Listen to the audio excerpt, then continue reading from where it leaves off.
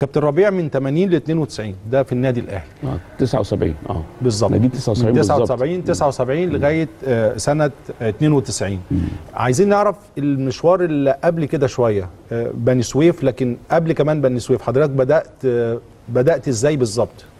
هو أنا بدأت بدري جدا كنت صغير وكنت لاعب ملفت وعندي موهبة وعندي مهارة بياخدوني في التحديات دايما.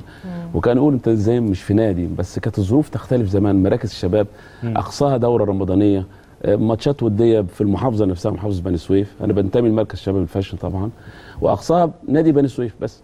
لكن كنت سمعت كويس. وبعدين بقى كان ليا تجارب كتيرة جدا. حد حد ياخدني هنا في مصر لموهبتي والناس سمعت عني. ف لا بدأت كام سنة بالظبط؟ وأنت قد كام سنة بدأت بقى يعني يتعرف إن آه لا ده في لا واحد. بيلعب كورة كويس يعني. بدري آه، 14 سنة يعني اديها 14 سنة. 14. يعني من الصغر مسمع كنت في المدرسة وكنت انما مسمع من 14 سنة بدأت أسمع بياخدوني في مركز الشباب ماتشات ودية كبيرة ولعيبة. وحتى توظيفي باك ليفت الراجل المدرب وظفني باك ليفت. مش عارف باك ليفت ليه مع إن أنا كنت هداف وعندي مهارة وبروح و ف كان نفسك تبقى مهاجم؟ وبتجيب اجوان قياسا للمدافعين يعني ما شاء أنا أنا الله. مسجل 23 هدف. ما شاء كلهم الله. بعتز بيهم طبعا. كلهم كان ليهم فرحة كبيرة جدا. بفضل الله ثم زملائي. فاللي أقصده يعني إن أنت بعد كده رحت بني سويف. وبني سويف بقى كان في القسم الثالث.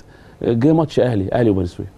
اليوم ده بقى كان يوم يعني. عملت ماتش كبير جدا وتألقت طبعا. وأنا باك باك ليفت برضه. مين كان بيلعب عليك في النادي يا كابتن ساعتها؟ هو كان الفريق الصغير ما كانش آه، فريق. آه، الكابتن فريق عمرو أبو المجد. أستاذ. كمال حافظ الله يرحمه. آه طبعا الناحية كان الكردي بقى وطاهر أبو زيد وحسام البدري. كانوا خد بالك؟ الجيل ده. آه الجيل ده. وقدرت أنا ألفت الأنظار والنادي الأهلي لا أنا عاوزك تبقى موجود. وحصل بقى حاجات كتيرة جدا. لكن في النهاية وقعت النادي الأهلي. ورحت بعد مفارقات كبيرة ومواقف صعبة جدا. زي جدا إيه يا كابتن ربيع؟ إيه من المواقف الصعبة اللي حضرتك بعد مشوارك وتاريخك الكبير ده آه. اللي الحقيقة حتى التقرير يعني يعني ما, ما يكفيش تقرير واثنين والله دي ذوقك، فعلا أشكر إيه. المواقف أشكر. الصعبة اللي حضرتك تفتكرها من مشوارك آه. في البدايات خالص؟ هو حضرتك كان في مشاكل بالنسبة لي النادي النادي بتاع بني سويف بني سويف ودى ورقي للمقاولين العرب.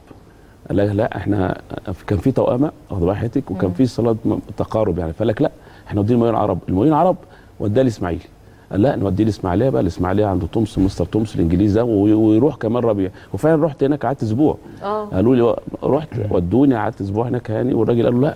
ومضيت على على يعني كان قصة كبيرة جدا. بس كانت المفاضلة بقى ما بين الأهلي والإسماعيلي. أنت عاوز إيه؟ سياده الفريق مرتجي نزل بني سويف وراح قبل المحافظ قال له ربيع عاوز بني سويف عاوز النادي الأهلي. كان النادي الأهلي بقى بعت لي متأخر بعد ال- آه الاسماعيلي يعني حضرتك رحت من بني سويف رحت على آه الإسماعيلي المقاولين الأول ولا ما آه، رحت آه، ودوني الأول المقاولين قعدت مع. رئيس مجلس الإدارة. مهندس صالح حسب الله وقال لهم لا أنتوا مقاولين ليه؟ الزمالك. آه ما الزمالك الزمالك أنا اتمرنت فترة وزهقت لأني كنت باجي من بني سويف يوميا. آه المشوار. ومشوار كتير جدا وكنت أول مرة أنزل مصر. طبعا. يعني كناش آه. مثلا أقصاها المنيا أقصاها بني سويف صغيرين ما أعرفش حاجة. آه طبعاً، والظروف طبعاً، طبعا طبعاً، والإمكانيات. طبعاً. خ- خلينا واقعيين يعني. فبس فقدرت بفضل الله تعالى إن أنا أقول النادي الأهلي. كان بقى ليه دور كبير جدا. بفضل الله سبحانه وتعالى ثم عم عبد البقال الله يرحمه الإداري الناجح المحترم اللي هو بينتمي ويشتغل بما يرضي الله. كانت فيصل فيصل الاستمارة ال- ال- ال- المنطقة منطقة اسيوط قال لي خلاص أنت عاوز الأهلي ولا عاوز الاسماعيلي قلت له طبعا الأهلي طبعا. مش كلام آه.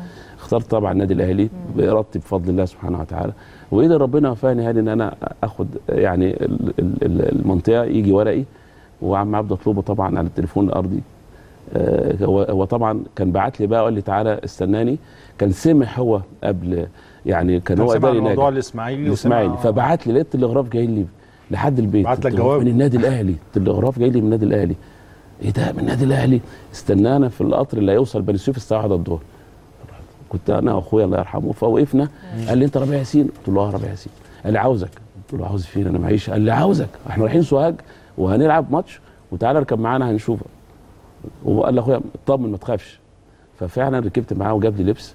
ولعبني شوط باك ليفت وشوط باك رايت. بس حضرتك في المشوار بقى وانت رايح بقى يعني كنت مصدق فعلا لا. إنك رايح على الأهلي ولا دي هتبقى خدعة في الآخر لا ولا ده ده إيه؟ طبعا سيناريو حضرتك آه. بصي إن يقف والقطر وبعدين يقول له تعالى آه. وياخدني وأنا قلت له ماشي أجي معاك إيه المشكلة؟ حاضر. آه. يعني بصي حضرتك ما ممكن أقول له لا إنما رحت وما كانش معايا لبس خالص. فاتصرف في لبس فعلا وقال جه من سوهاج قال لي لا بعد إذنك مش هسيبك. وداني عنده البيت بقيت عنده. والله قال لي الصبح هنكون في الاهلي عشان أخلصك. آه وحصل. وحصل. حصل. هو إداري ناجح وإداري على أعلى مستوى واخد بال حضرتك نصيب. وحاجة جميلة جدا وهو وأنا طبعا كان عندي الرغبة والشرف مفيش كلام. وفعلا بقيت عنده. والصبح كنا في بني سويف عشان يخلص الإجراءات سريعا سريعا سريعا. فكان الفيصل بعد كل ده يعني إن إن المنطقة هو المنطقة الاسماعيلي. خلاص أنا رحت وجربت قال لهم خلاص. وخلا خلوه ما ده ما يخرجش بره الاسماعيليه مم. بس كان في نهايه الموسم فطبعا فيصل. منطقة أسيوط كانت إحنا تابعين لأسيوط بني سويف تابع لأسيوط. فكان هم بقى يعني الأهلي سبق وأنا كانت الرغبة طبعا الأهلي. النادي الأهلي. النادي قال لي قال لي قدام المحافظ رغ- برغبتك؟ قلت له النادي الأهلي طبعا مش كده. وربنا تا- يعني كرمني الحمد لله ووقعت النادي الأهلي. ودخلت في النادي الأهلي من 79 ل 92 قدرت إن أنا ألعب عدد كبير جدا من المباريات أبقى أساسي مط- يعني سجلت حضرتك بدأت آه باك شمال برضو ولا كنت هو باك شمال. من أول شمال. يوم لحضرتك من أول في يوم.